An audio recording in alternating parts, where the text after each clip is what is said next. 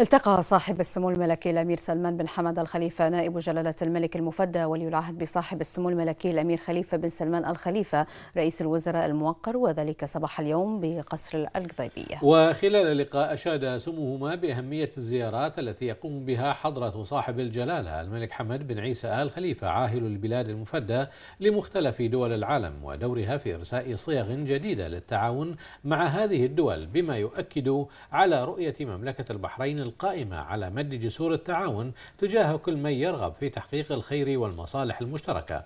كما تؤكد هذه التحركات من جانب آخر إيمان المملكة بأن التحديات الجمة التي تواجه المنطقة بشقيها الأمني والاقتصادي لا يمكن مواجهتها إلا بالتعاون والتنسيق مع الدول الشقيقة والصديقة.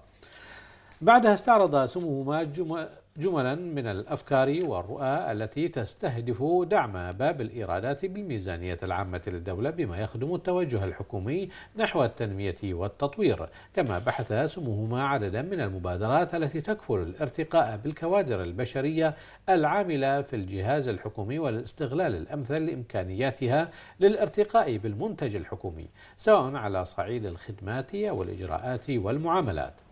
ونوه سموهما بأهمية الملتقيات التي تدعم التوجه الحكومي في تطوير الأداء بالشكل الذي يتماشى مع متطلبات المرحلة وتحدياتها المختلفة في شتى المجالات. وأكد سموهما الدعم المطلق لكافة الاجتماعات التي تكفل الخروج بالمرئيات التي تحدث مزيدا من التطوير في الكوادر العاملة في الجهاز الحكومي بما يحقق رؤية الحكومة التنموية والاقتصادية اللتان تستهدفان الارتقاء بالمستوى المعيشي للمواطن البحريني.